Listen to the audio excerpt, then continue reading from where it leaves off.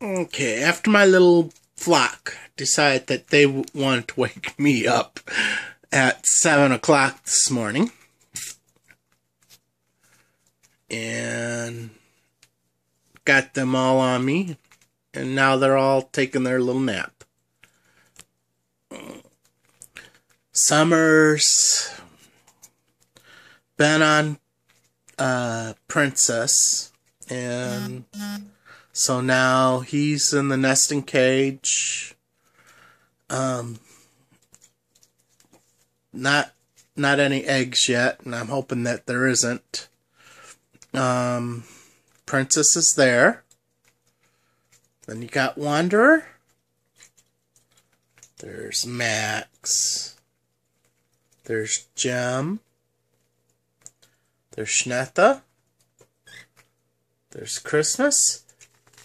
And over here is the tank. She's enjoying herself. So, so yeah. But at any rate, I also added some new, I bought and added some new things. Okay, so let me scroll out here. As you can see, I got a new rope perch. I also went and got a little wooden tunnel, if you will. And I also got another little, like, stand perch thing. I don't know what you want to call it. Um, but it's, they're both pretty much for reptiles along with the tree. But the babies seem to enjoy it.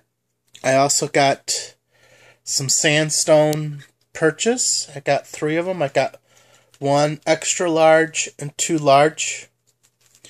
I will also get, when I get some more money, I'll get a couple small ones. Just to give them, like, variety for their feet. So that way they have, you know, something to um, keep their nails nice and done. But at any rate, it's what it looks like right now. Oh, there's Summer. He decided to pop his head out and get something to eat.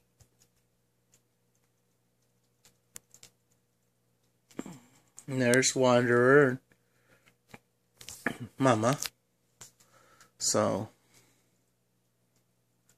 there we go.